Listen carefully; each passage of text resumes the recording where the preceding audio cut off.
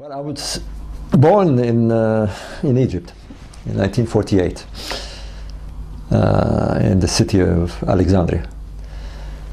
Uh, but I'll say immediately, although with great sorrow, I'm not an Egyptian. A lot of people assume automatically that if you're born in Egypt, you're Egyptian. The sad thing about Egypt is that you're always a non-Egyptian if you're not by blood, which is a problem, but never mind. I'm born from a family uh, of my father's side were Belgians. They immigrated to Egypt in the 1890s. And my mother's side, Maltese. Uh, Alexandria had a very, very large foreign community, about a quarter of a million in the, uh, in the post-war, in the 1940s, 50s.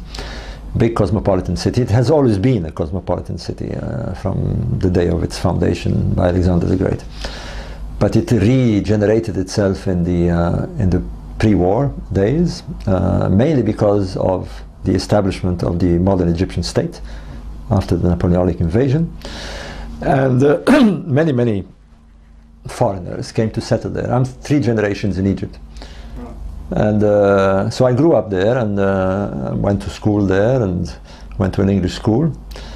I left when I was 19, and I went to England. Uh, first with a little stop in Switzerland, where my brother was living. And I came to complete my studies, uh, which took me till 1973. Uh, in those days, in my family, you either became an architect or an engineer. It was the route that we took. Uh, I decided to go into construction engineering. I did it at the uh, South Bank Polytechnic in London and that's it. You know, I was ready to to do a career in, in the construction industry, which, uh, in in a curious way, I found myself taking overseas jobs. Partly because I wanted to travel, and partly because I spoke languages. I spoke Arabic fluently, so it was easy for me. In those days, there was a big boom uh, in the building industry in the in the Middle East, the oil boom, and. Uh, uh, so it was easy to get good jobs. And uh, I started off with going to Oman. I was there for five years. Uh, eventually, I found myself in, in Saudi Arabia uh, on a very senior posting. I was 33 at the time. And quite frankly, minding my own business uh, in Egyptology. I mean, I had wasn't my thing at all. I had a, a vocation like everybody else. I got interested. I read books about the pyramids, but that's about it. Uh, until until uh, as things happen. I call it my. Uh, uh although I don't, I don't compare myself to to uh, to Isaac Newton. I still call it the apple that fell on my head. And I'm a great believer that things occur all the time, but we just don't pay attention. everybody knows about the apple that fell on Newton's head. I don't know if it's a true story or not, but but it, it typifies the the reaction of one man who asked the right question: Why did it fall?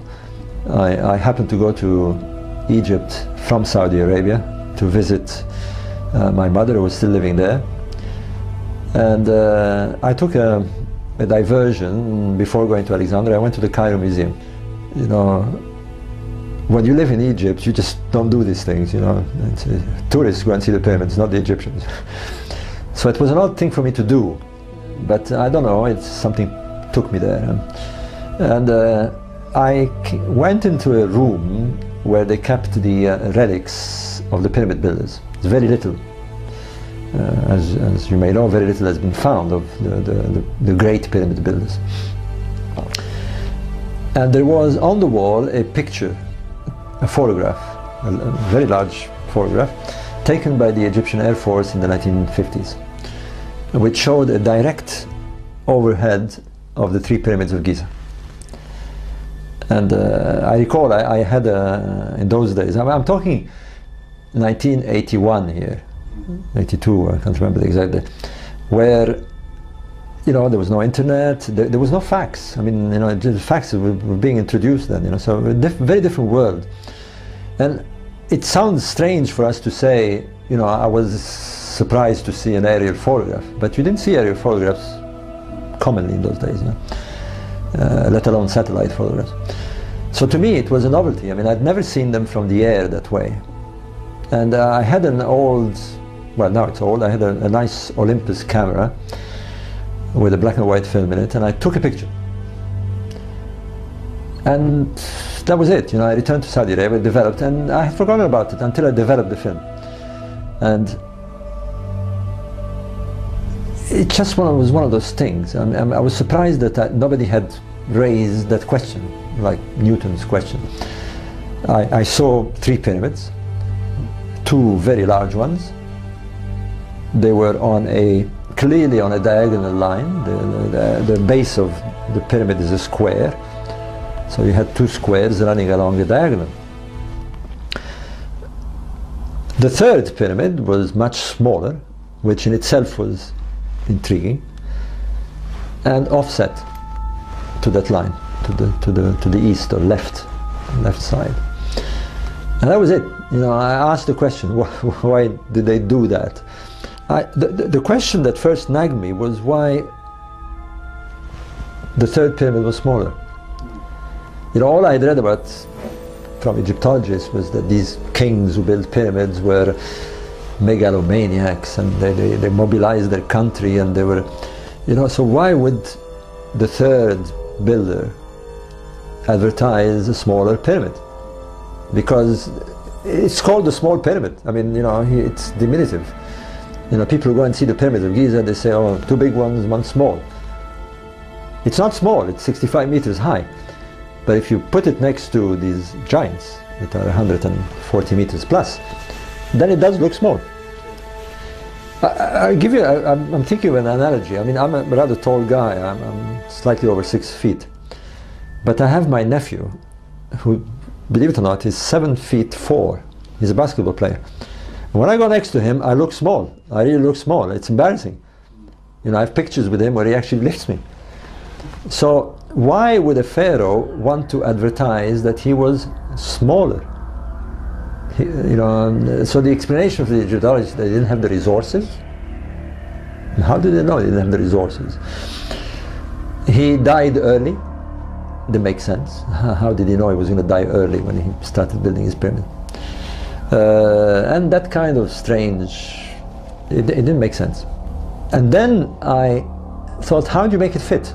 I mean, how do you explain that there's a smaller pyramid there next to two big ones? And the only explanation that came to mind was that it wasn't an ego problem. You know, it wasn't built by a pharaoh who had resources problems or he didn't have the, he was going to die early or whatever. It was a plan it, it didn't belong to an individual pharaoh. It was an overall plan, which seemed to be the case. You had a, a site with three monuments of the same design, two almost of equal size and a smaller one. It, it reeks of a plan, you know. Uh, so I thought, okay, that can explain it. It, it. It's not a smaller pharaoh or a weaker pharaoh. It's part of a plan, and it had to be small. The question is, why did it have to be small? The answer was obviously in what is the significance of this monument. And that I agree. Uh, I agree with the Egyptologists. There's no doubt at all that they are religious monuments. But religious in the context of the builders. And you have to get into the context of the builders. Now, one of the strange things about the Giza pyramids is that they're there, you know, they've been there for thousands of years, but they're silent there is no inscriptions on them, nor inside nor outside. Which in itself is another mystery. The, the, the ego maniac pharaohs who built those pyramids didn't bother to tell us that they built them. You know, it's, it's like, I, I always say, it's like me being a writer.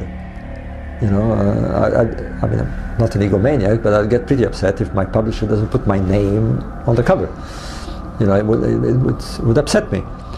So why would they build the pyramid? And the pharaoh would say, "Well, where is my name? I mean, for posterity, you know, to, to you build this giant monument and nobody knows it's me." You know, so again, this this story that I was hearing from the Egyptologists did not fit. Although it's true that the pyramids of Giza, now, in, in, to put them in a context, they're from the fourth dynasty, which is dated roughly to about 2500 BC. Uh, the dynasty prior to, uh, sorry, the dynasty immediately to them, after them, the fifth dynasty, have built pyramids further south, a few kilometers further south. You can actually see them from Giza. But there's no question that when you see those fifth dynasty pyramids, it comes as a shock because you, you compared to the, to the massive and perfect fourth dynasty pyramids, these things are shoddy. You know, they're jerry building. I mean, they're really crumbling. I mean, some of them don't even look like pyramids. They're smaller. They're they're built with uh, in, look like in haste, but they contain texts. In contrast to the fourth dynasty pyramids, these things are full of texts. I mean, they, they, they filled every inch of the inner chambers with texts. Great. Let's see what they say. And these are known as the pyramid texts.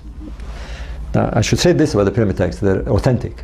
They're actually carved on their original monuments. They're not translations or interpretations, they are the real thing.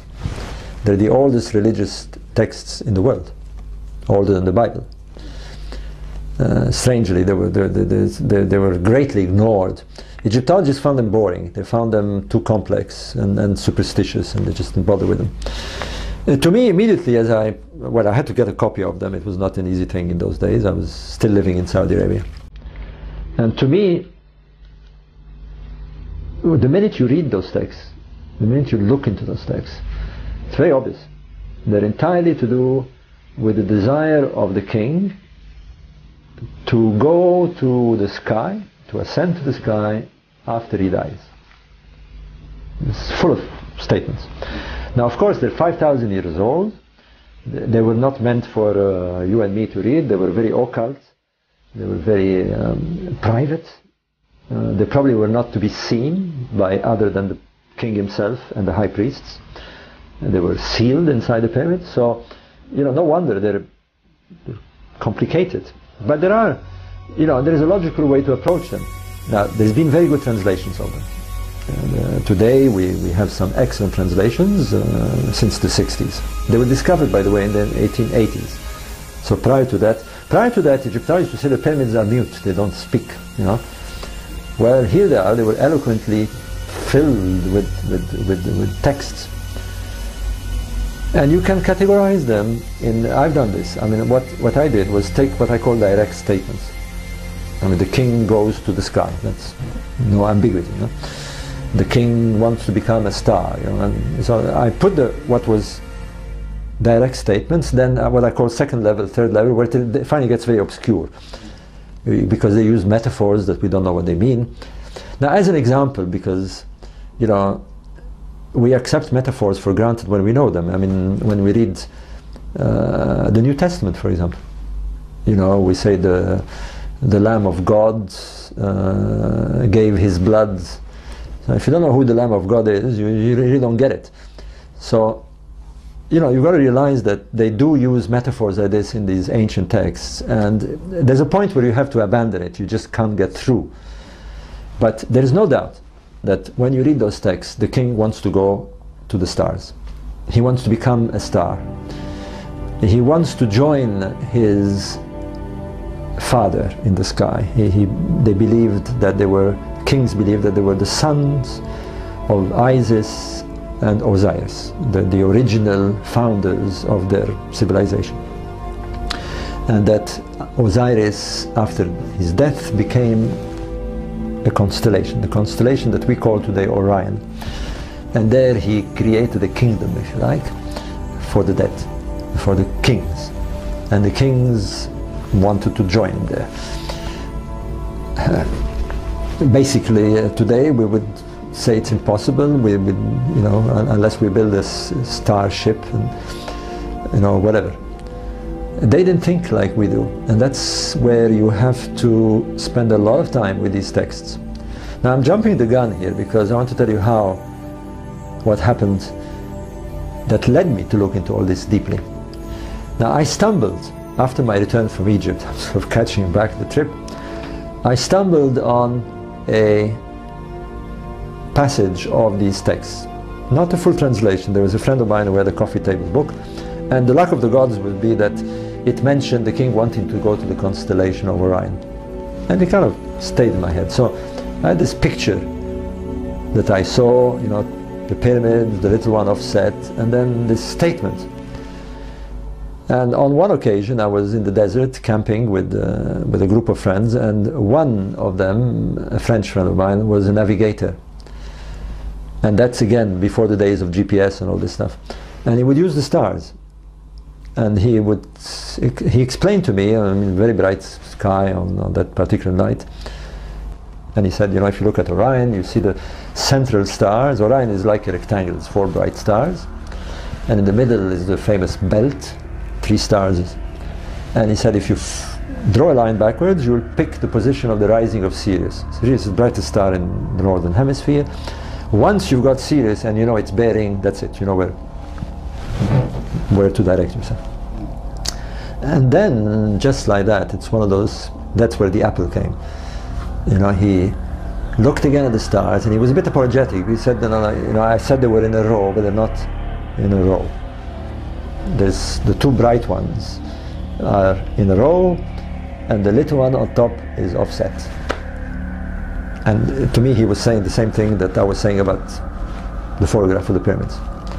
And knowing that there was a connection between the king's desire to go to the stars and the pyramids he built,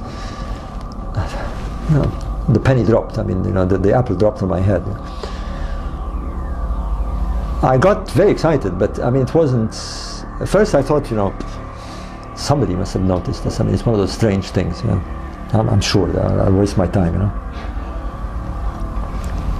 So I wrote to a few Egyptologists, and it became very obvious that they had never heard of this. Uh, I finally stumbled on uh, the late Professor Edwards, Sir Ivan Edwards, who was very interested. And he invited me to come and see him in, uh, when I had an opportunity to come to England, which I immediately thought, okay, why not? And the first holiday I had, I knocked on his door in, in Oxford, very sweet man, and he said, come in. You know, we talked about it. And he told me something that I didn't know. He told me that indeed the Egyptologists had known of a direct connection, not just with the texts, but with the pyramids of Giza, with the Great Pyramid. That inside the king's chamber were shafts, narrow shafts, and one of them was had been worked out by Egyptologists and astronomers to have pointed to Orion's belt at the time of the construction of the pyramids. And I thought, well, there you are. I mean, you know, what more do we want? You know, the. And as I got more into this subject, I discovered something else, which to me was utterly puzzling because the Egyptologists insisted that the kings who built those pyramids were following the sun cult, that they believed that the pyramids were solar symbols, that they represented the rays of the sun shining down or something like that, or staircases leading into the sun. But as you read the pyramid text, it's very obvious that the king did not want to go to the sun. The sun was the sun god. He wanted to become a star. There's no question about it. On top of that, not the Giza pyramids, the, but there are pyramids of the same dynasty, one at Abu Ruash, built by the son of King Cheops the Great Pyramid, and one built by Pharaoh on the other side, north, just a few kilometers, a fourth dynasty pharaoh called Nebka. And here it was. The kings gave names to their pyramids. They identified themselves with the pyramid. They, they, they, met, they saw themselves as themselves being part of the pyramid. And they named the pyramid. And they named them as a star. The, the one in Abu Ruash is called Djedefra, is a star. And the one in, uh, in uh, is called Nebka, is a star. So what, what more do they want? The pyramids are identified as stars. The king wants to go to the stars of Orion. The, the, there is a shaft pointing to Orion's belt, and the pyramid on the ground looks like Orion's belt. I mean, looks like a duck, it walks like a duck, it quacks like a duck, it must be a duck. And so I thought, I'm going to publish this. And uh, I did. I mean, I eventually, through contacts with Professor Edwards, I published a, uh, an article in, uh, actually a series of articles in 1987 to 89. And that's it. I mean, I thought I've done my job, you know, I've, I've downloaded it from my mind and uh, let them do what they want to do with it. But I wasn't satisfied. I mean, uh, nothing really happened. Um, a couple of letters here and there, you know, but that was it. And I thought this is strange. I mean, this, this, this thing is too important. And you know, I, it sounds strange for me to say this now, but and I, am much older and I, am much more calmer about these things. But uh, at the time, it's hard to explain, but I felt it was a kind of responsibility. I just could not accept that I'd die and I wouldn't have brought this thing out. You know, it just bothered me, and I had to do it. You know, I had to really push it. And so, well, long story, one thing led to another, and eventually I, uh, I found myself a publisher. And by the luck of things, um, at the time when I was about to get started with writing this book for a publisher, a German engineer, Rudolf Gantenbrink, explored the shafts uh, of the Great Pyramid. And uh, he found a little door, it's a famous little door at the end of one of these shafts. So there was big news about this, and one, the whole thing took fire. Uh, it's, it, it's, it's, it's, to me, it was one of those huge uh, 360 degrees situation. I mean, from one day to the next, I became I became the star pyramid man. You know, my life changed completely. Uh, I, I always remember this. Uh, the, the, the, BBC did a, a major documentary on it and I went the next day to London with my wife. And we were visiting some friends, and I stopped in Piccadilly Street and I wanted to buy some flowers. And I, the, the, the, the, seller said, Oh, you're the pyramid man. and I thought, My God, you know, I mean, what have I done? You know, and it was overwhelming because uh, clearly I touched a nerve here uh, especially the way it was presented. I mean, of course, the BBC made it exposed it. I mean, suddenly, you know, it was broadcasted on on, on a major channel, and uh, everybody saw it. I mean, and who didn't see it were told about it. I mean, every Egyptologist in the country was on their on up in arms, you know. And suddenly, I found myself um, overwhelmed by this. I mean uh, there was a lot of anger and uh, Egyptologist so and so in this newspaper saying I was a charlatan and you know it went out of control for a while. But I kept my nerves because it's, it's very unnerving. I mean, you know, you're getting attacked by some very senior people, some, some heavyweights, you know, professors and deans and all. But then I thought, wait a minute, you know, uh, makes sense. you know, I don't care what they say. You know, now I use very different approaches. I mean, uh, you know, they, they were the, the, the, experts were commenting. You know, they were, and finally I said, well, wait a minute, I'm the expert. I'm, I'm the expert on this one. You know, why should I be intimidated by the expert? You know, and frankly, they, they were they were coming up with very annoying criticism. Uh, first, they did the. Uh, the personality thing. I mean, I, I wasn't an Egyptologist, and uh, I didn't know what I was talking about, and you know, he's a charlatan, and you know, uh, believe me, I was called a lot of things. And there was some instance where it got very nasty. I mean, in Egypt, I was called an anti-Jewish supporter, a Zionist, and here I was called an anti-Semitic for some reason. I don't know. It all went berserk. Uh, How did it end up having anything to do with the Jews? Well, here's the weird one: is that the pyramids, there was an old theory that the pyramids were built by the Jews in captivity. Now, if you supported the theory, you were a Zionist, according to the Egyptians. If you didn't support the theory, to some, you were anti-Semitic. But there you are, I mean, had people saying you're anti-Semitic, you know, you don't support it. It all came out because once you're exposed that way, you're, you're out there, you know, and anybody can take a pot shot at you. And in this case, the big guns came out. I mean, uh, it wasn't just the, the, lunatic fringe taking pot shots. I mean, I had, uh, you know, heavy weights. I mean, I had the, the, the, the, the, the, Ministry of Tourism in Egypt, the director of the antiquities, you know, and but uh, things have, you know, I've, I've learned how to deal with this. You know, and the funny thing about this, I mean, I, I began to see, I mean, I was getting angry because I began to see that there was a kind of auto da fe here. I mean, the, the, not only they wanted my blood, but their arguments were, uh, were very um, almost inquisitional. I mean, uh, uh, strange arrogance that came out. I'm, not saying in general, I mean, there are some nice Egyptologists and some, but I was astounded. For example, this business about the door. You know, um, there could be a chamber at the end of this shaft. Maybe there isn't, we don't know. But I had the German director of the German Archaeological Institute who was responsible for the exploration. And I remember sitting next to him with the BBC. And this man quite happily said, there is nothing behind this door. And I remember the BBC guy, you know, taking notes. And so I gave him a nudge. I said, ask him, how does he know? It didn't occur to him because it's funny how they don't, it doesn't occur to people to ask these authorities. They, they take them for granted. So I said, ask him how he knows there's nothing behind the door. And he said, why do you ask me? I said, well, I mean, how do you know there's nothing behind the door? And all he could say, after getting green and red in the face, was, because I am an expert. I said, you know, I'm, I'm Professor so-and-so. So I said, it's not good enough.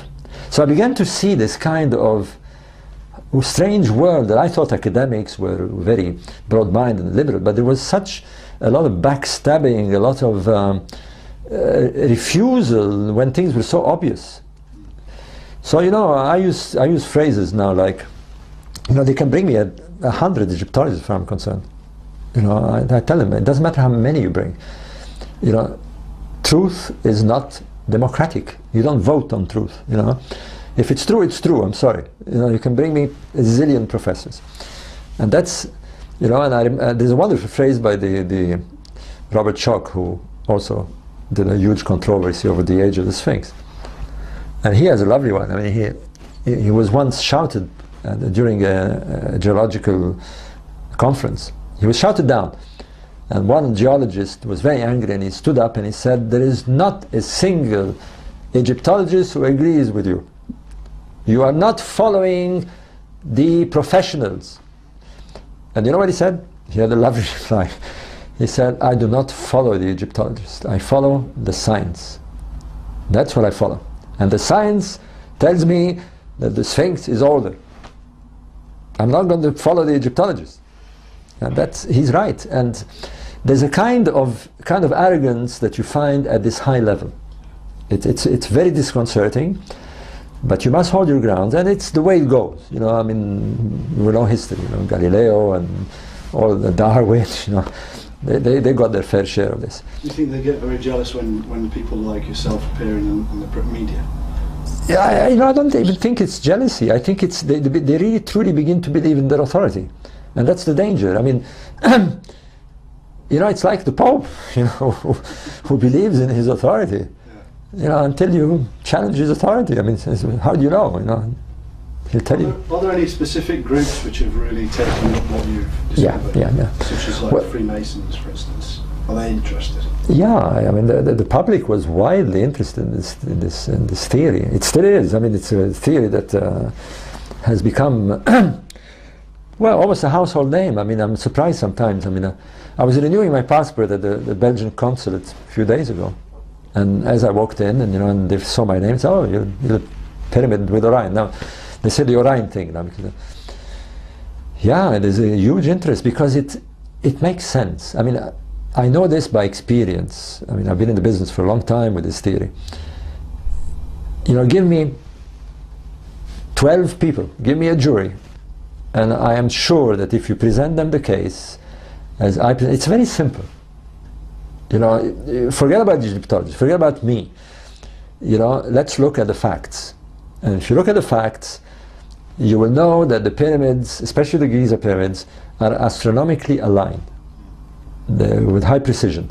They face the cardinal direction. So that alone should tell you that there is something to do with astronomy. The precision of the alignment is such that even the Egyptologists agree you have to use stars. Can't do it with anything else. It has to be a pinpoint of light. Therefore, stars are related to the setting out of these monuments. And then you read that the king wants to go to the stars. And then you find that there is a shaft that pointed to the stars of Orion's belt. And the king wanted to go to specific stars. And then you look at the picture and you say, well, you know, three stars, three pyramids, two large pyramids, one offset, small one, two st stars, two bright ones, one smaller one offset. You've got a correlation. And then you say, wait a minute, also the way the pyramids are in connection with the Nile, in relation to the Nile, these are the same. They're inclined the same way, they're proportionally the same distance. We, have got a correlation here. The question is not whether we got a correlation. The question is whether it is a coincidence. And the evidence that is backed this. well, if it is, it's one of those incredible things. You know, it's uh, it, it, just doesn't fit the coincidence. The the needle is going into the no coincidence side. It's just one of those. And let me tell you, I mean, uh, I've been with this thing for 25 years. It's not a coincidence. And, and, and to ignore it is, is, is to me, uh, a, well, of course, gradually as the dust began to, to, to, fall and they got, you know, the anger began to dissipate, some Egyptologists began to look into this. And uh, some are open, some at least talk about it. It's been discussed at universities. Uh, where it's taken the right direction is when archaeoastronomers began to look at this. Because frankly, Egyptologists are not the right guys to look at this. You need to, know some basic astronomy. You know, you need to understand about precession, for example. You need to understand why the stars look the way they do today and why they change. So that was a problem. Now, my problem was that when you talk to an astronomer, he said, I don't know anything about Egyptology, so I won't talk about it. And when you talk to an Egyptologist, he said, I don't know anything about astronomy, so I won't comment about it. So who's going to comment? You know, the angry guys were commenting. So eventually, we, there, there is now a profession. Uh, there are chairs at universities that blend the two. We call this archaeoastronomy. People who study archaeology and astronomy at the same time. Because why? Not just the ancient Egyptians. All the ancient cultures looked at the sky and they have religions related to the sky, their monuments are aligned to the sky. So you definitely need the input of astronomy. To, to me it was very obvious that the minute you brought in the missing key, if you like, the minute you brought astronomy into the equation, it worked. If you're looking at the pyramid text without astronomy, to me it was like looking at the like looking at the balance sheet of, of an accountant and refusing to say there are numbers. You know, if you don't understand numbers, then the, you, how can you read the balance sheet?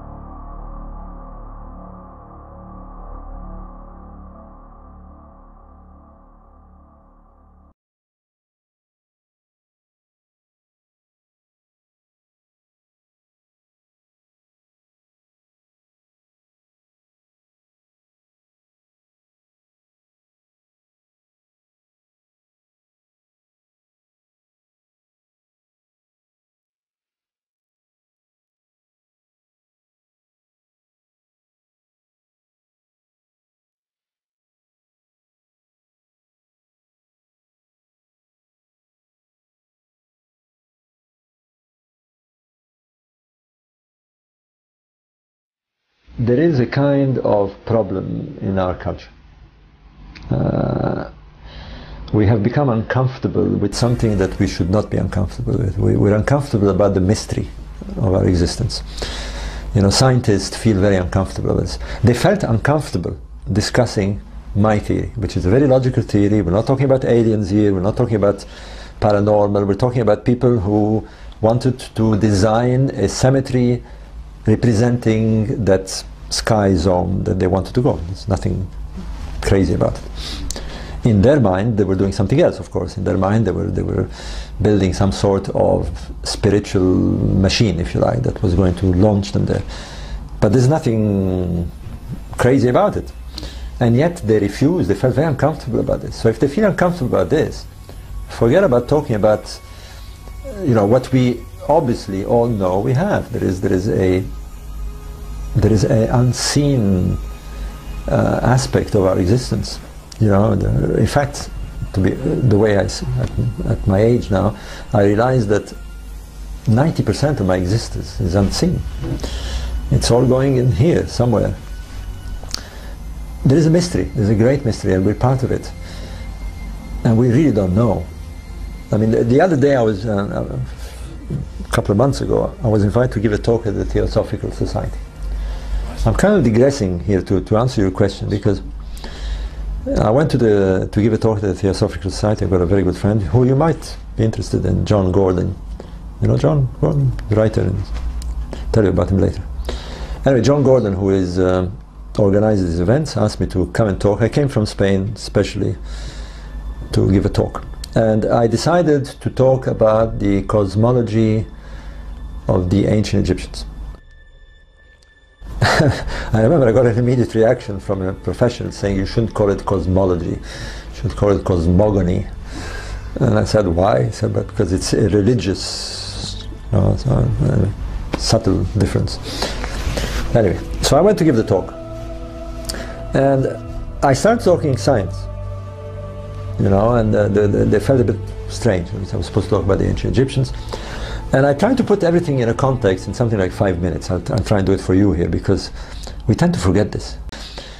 The thing is that we have two errors here. One is that we are uncomfortable with what we think is the, you know, the wooji booji stuff, you know, the voodoo stuff, you know. But we shouldn't. We should, feel, we should, on the contrary, we should feel at ease with this. The other is uh, the, the huge problem we have in our way of thinking is that we externalize the thinking. We think we're going to find the answer somewhere. You know, the funny thing is that we have the answer. You know, we, we, we come, we are actually made from the original source. It's true. You know, you, you, you, that fragment that blew up 20 billion years ago is somewhere in you. A piece of it is in you. We're it. You know, and we forgot to internalize our search. I mean, the, the, the, ancient sages, you were talking about the great masters, they internalized. And, and, and the reason they did, uh, luckily they didn't get born in our era because they would have been influenced and they wouldn't have done it. When you don't have a technology, when you don't have a scientific technology, but you have geniuses, you know, that's the funny thing about the, the when you study history and, and ancient history and prehistory, you know, it's very annoying when you read that they were supposed to be primitives. There is no reason why they, there wasn't Einsteins and Newtons and geniuses. There were, but they didn't have the scientific technology. They had the same brain, and they used that brain to internalize. They tried to explain somehow their existence by searching inside. And for all we know, they probably arrived closer to the answers than we will with all our technology. So to answer your question in a roundabout way, yes, I believe in the mystery, and I believe that for some reason uh, I saw this thing. It's as if the king believed that he was going to return to the point of origin, where it all started, and rejoin his clan of gods. And I thought, wait a minute, what do you mean by this first time? He kept talking about a long time before when the god Osiris had established. And I thought, wait a minute, if they, if they speak of Osiris as being the stars, what would be the first time of these stars? And of course, it brought me to this idea of precession. There is a cycle of 26,000 years. What would constitute the beginning of such a cycle? And as you observe these stars, over that long-term cycle. We can do that with a computer. Uh, the, the, what seems obviously the beginning is when they're at their low, uh, at their, at their uh, nadir, if you like. And then they rise to the maximum and then they drop again on this cycle. So I thought, let's look at the beginning. Do they mean something? And I was stunned because as you brought them down, if you like, if you precess the stars to the beginning, you arrived at a very strange date you arrived at the date of 10,500 BC. And all the bells began to ring here because there was the strange prophecies made by the, the, the, the American seer, the Edgar Cayce, which I was, I'm not into that at all, but I thought, how weird. I mean, you know, he, he, he guessed it, you know. And then I thought, wait a minute, let's look carefully at the sky. And I remember it's the, the software is such that I was looking due south, I was looking at the, the way the stars moved up and down in this cycle. And the software is such that if you press E, you go east, if you press W, you go west. And so for some reason I pressed E, so let, let's see what happens east. And there it was, you know, floating over the east, precisely due east, was the constellation of Leo. Now I didn't need to be told anything because I knew that there was a monument that was a lion looking in that direction. And I thought this is too much. I mean, it can't be. I mean, it's, it's, it's very odd. I mean, now we have two monuments, two sets of monuments, the three pyramids, like Orion in the south, and the Sphinx, like Leo in the east, locking at the same time. So I phoned Graham Hancock. I said, you know, have a look at this. And uh, you know, I, will go to the grave on this one because it caused a hell of a lot of commotion. Because the Orion mystery already was causing a fuss, but at least it was within the dating that the Egyptian, the Egyptologists gave. But now, when we started talking about 10,500 BC, they were not happy at all. But you see, the reason they were not happy is they couldn't simply poo-poo it. You know, the logic was, was incredibly clear here. You know, the Egyptians invite us to look at Orion, we look at Orion, and then they invite us to look at the beginning of a cycle, we look at the beginning of a cycle, and bang, look what you've got. It's pure logic. You know, there was nice, clear, straightforward logic. Of course, all the arguments, they didn't know Leo at the time and all this stuff, and, but it was there. And you see, I don't see it like that too much nowadays, but uh, what was going on was suddenly we began to form a camp. You know, we were the alternatives. You know, called an alternative historian. And they were the orthodox. And we realized we were battling. You know, we were, they, they were, they were, and, and we began to realize why they were angry, especially with me and Graham Hancock. They were angry because our arguments were solid. Otherwise, they wouldn't even bother you know, and, and that's what got them angry, is that people would say, well, why do you say they're wrong? I mean, look at the logic, you know. So they got very, very angry and they just could not knock it. So they, they at, at, at, one stage we had them on, on the run, I can tell you. They were, until they sort of regrouped again. and then they became nasty. You know, they would go and fish around experts, you know, and, and they would have Professor so-and-so saying, you know, I've looked at this and this is rubbish, you know. But um, it was a strange situation. So. So you're kind of pointing out that the Sphinx was either built. well, Graham, uh, well, to answer your question, is yeah, we we we, uh, we wrote another book, and we wrote a book called Keeper of Genesis, which was all about this idea that there was a correlation. If you reconstructed the sky at what you could interpret as the first time that the Egyptians spoke of in the text, this first time of Orion or Osiris, then you had a Cinderella fit. You know, the, the, the slipper fitted, this pyramid slipper fitted perfectly. And it, to me, it's just one of those. I mean, that's it. I mean, so they said, well, how do you explain this? I mean, you know, okay, okay, we see it, but there was no Egyptians uh, in 10,500 years ago. You know, there was, you know, there's no evidence of a culture. There's no evidence. Where, where, where are the potsherds? Where are, where the, where the monuments? You know, where, so it's true. There was no evidence, and for a while it was a theory. For a long time it was a theory, until now. and then everything is changing now because the evidence is coming out strong, hard, solid, stone evidence and in, in, a place where we didn't expect it at all, where I wasn't looking at all. And that is the Egyptian Sahara, the western desert of Egypt.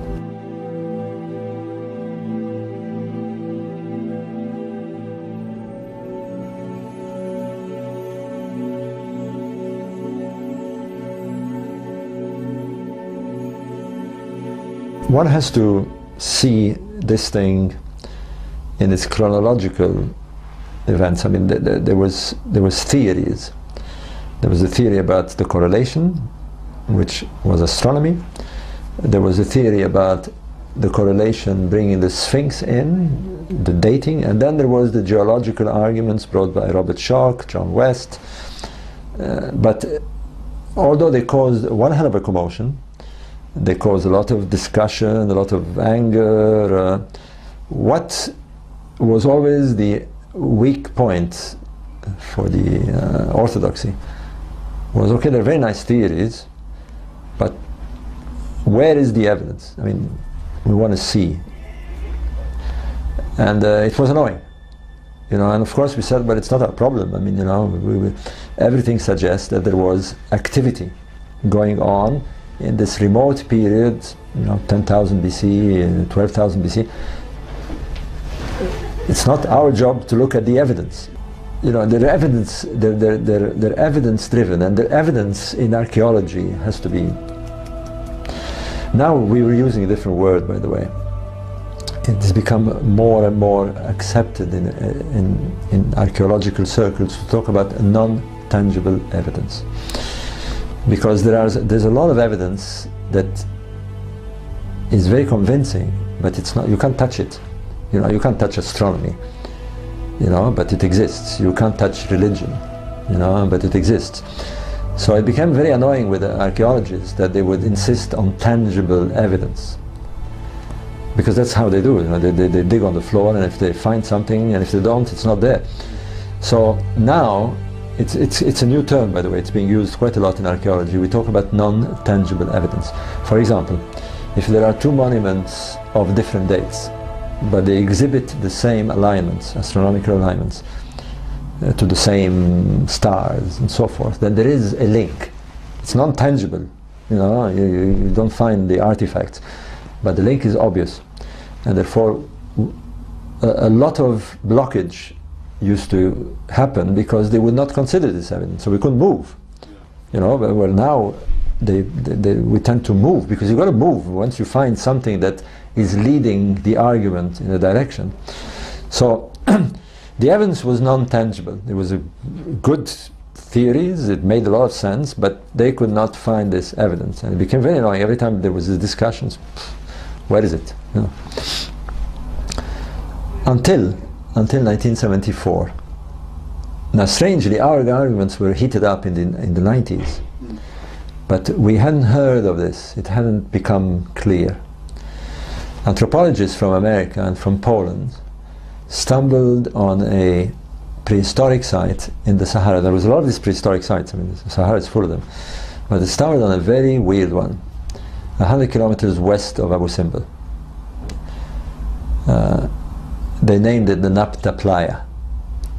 What was strange about this site is that it seemed to be not a usual settlement that they used to find, you know, just remains of stone huts and, and, and, and, and flints and, and stone articles. What was strange about this site is that it didn't have anything of, the, it had some of this stuff, but the main stuff that it had was large boulders in strange patterns. It looked like some sort of ceremonial site. The, the centerpiece of this is, is a stone circle. Uh, we call it the, the, sort of Stonehenge of the desert.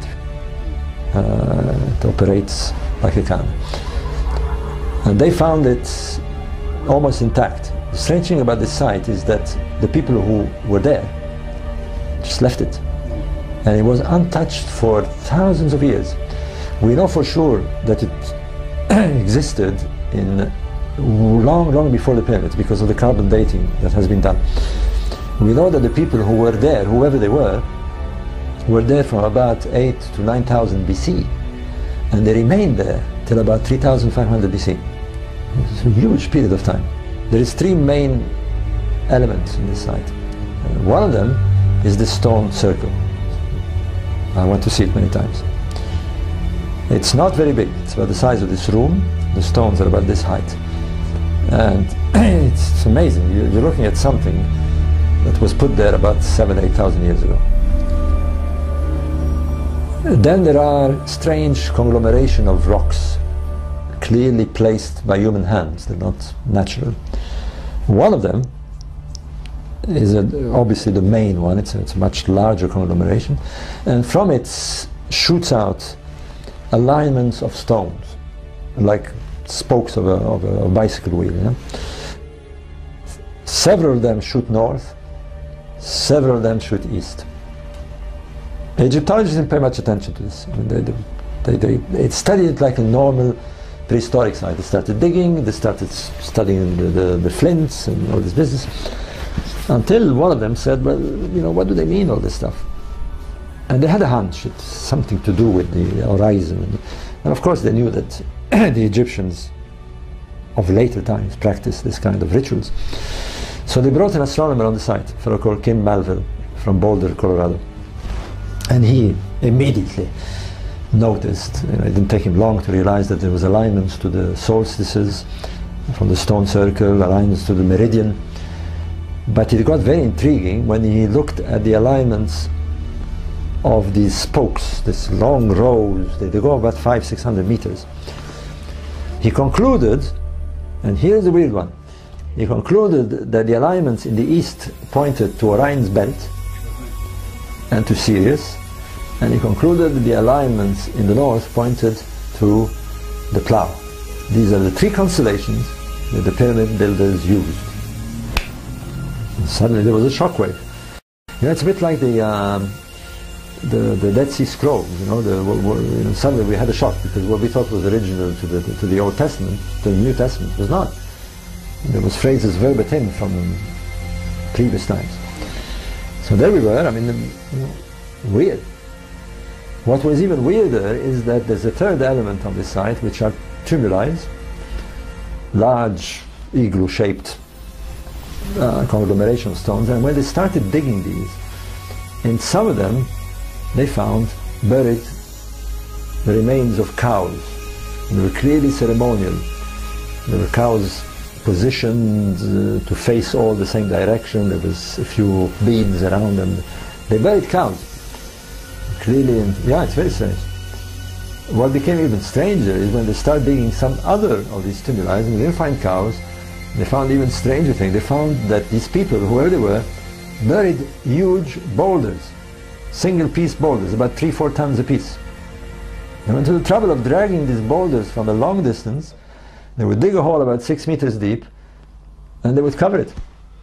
They were totally baffled. I mean, totally baffled. Clearly, it was ceremonial. But the, the ceremonies were astronomical. Literally looking at the stars and the sun and the very same stars, you know, Orion's belt, Sirius, and the plough. Better still, they had been there for thousands of years, and the astronomer Malville concluded weren't just watching the stars, they were tracking them because the lines change direction as the stars move with precession. These people were doing precession and observing precession and tracking it for thousands of years before the pharaohs. So there was something else. And what were the cows doing there? You know, we thought cows were not domesticated, they were domesticated in Asia. These guys had cows. And clearly they had domesticated their cows. Now here's the story, what we know now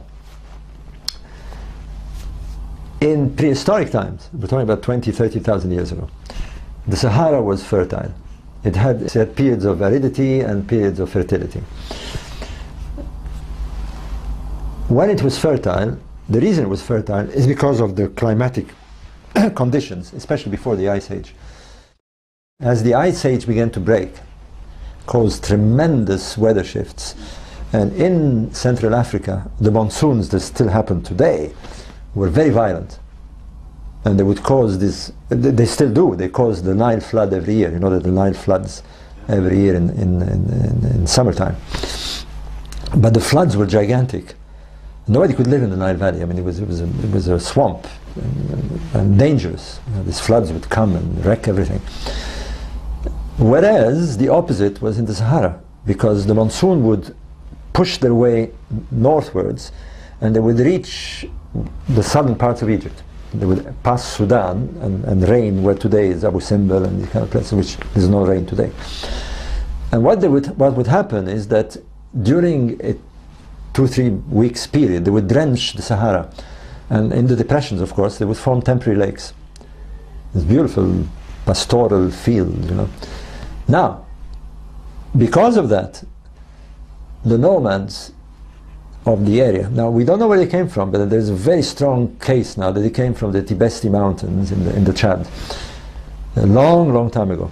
They were black people. They, were- they, they looked like Maasais, very, very slender, very beautiful black people. We don't know when they came. Maybe 20, 30,000 years ago. Something drove them into what is today the Sahara.